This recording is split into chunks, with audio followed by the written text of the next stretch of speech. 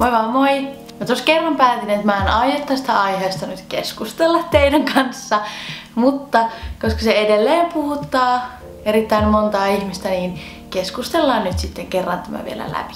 Varmaan moni, joka on seurannut pitkään mun videoita, tietää, että mä seurustelin Konstan kanssa ja Konsta näkyy edelleen mun videoilla, koska mä en aio niitä videoita poistaa, koska mä näen sen tosi turhaksi, että mä ne poistaisin, koska ne on mun mielestä kivoja videoita. Mutta kun ihmiset eroaa ja ihmiset menee välillä yhteen, niin nyt on käynyt niin, että me ollaan Konstan kanssa erottu ja me ei vaan nähty sopivaksi olla enää yhdessä. Mä olen tästä asiasta sosiaalisessa mediassa kertonut, eli mä kirjoitin mun blogiin postauksen tästä asiasta ja mä aion linkata sen tohon alle ja jos sua nyt kiinnostaa se, että miksi me ollaan erottu tai ylipäätään siitä asiasta jotain, sua kiinnostaa se, niin lue se, please.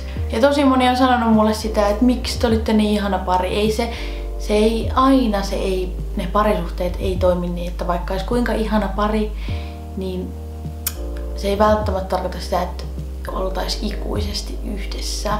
Ja mä en tiedä nyt mitä mä kertoisin enempää teille tästä asiasta, koska se oli tässä. Voin, tähän kohtaan mä voin sanoa vaan, että elämä on.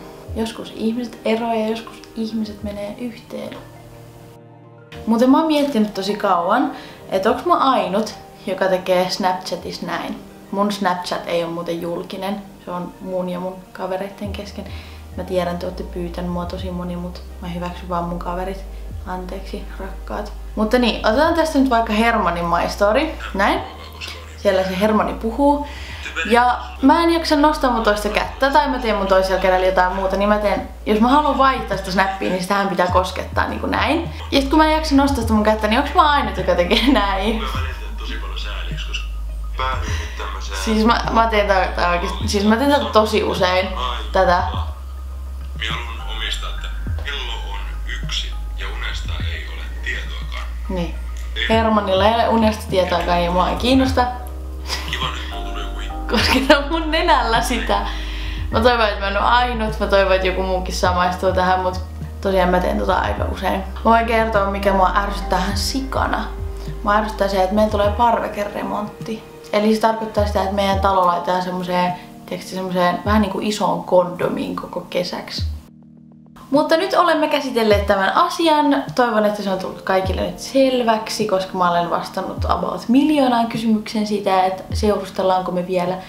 Nyt ei tarvitse enää kysyä multa tai Konstalta. Ja kello on nyt 15 yli 9 ja minä ajattelin mennä nyt nukkumaan, koska minä en enää jaksa olla hereillä, koska mä olin seitsemän aikaa ja silleen... Mutta mä oon nyt kituttanut itteni tänne yhdeksän asti iltaan, joten mä menen nyt nukkumaan. Toivottavasti piditte videosta, älkää masentuko, kaikki on hyvin ja me nähdään ensi videossa. Bye bye!